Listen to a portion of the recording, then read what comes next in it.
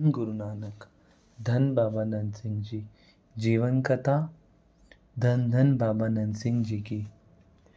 कर्मी आपो अपनी गुरु नानक के घर में कोई रियायत नहीं है। यह तो गुरुमुखों के गुरु के पुत्र ने गलती की है तो उनको भी माफ़ नहीं किया। श्राप दे दिया और अपने माथे भी नहीं लगाया। हम तो होते ही कौन हैं?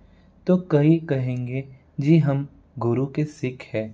पर सिख तो है ही, वो जो गुरु के मार्ग पर चले।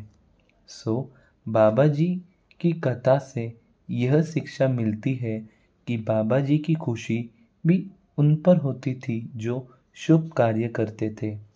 अपनों की लाज तो रखी ज़रूर, पर उनको यह एहसास करा करा करा कर आगे वो गलती करने लायक ही ना रहे। दूसरा, बाबा नंद सिंह जी को गुरु नानक का सहारा था।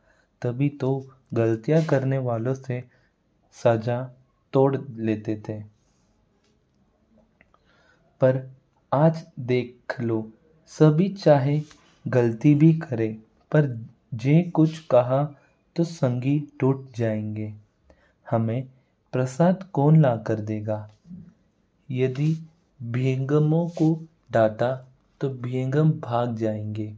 फिर हमारा काम कौन करेगा? क्या करे? इनके सिर पर तो सारा काम है। बस बाबा नंद सिंह जी गद्दी के वारिस बनते थे। खत्म होगा सतगिरी। शिष्य ही आपका सहारा बन गए।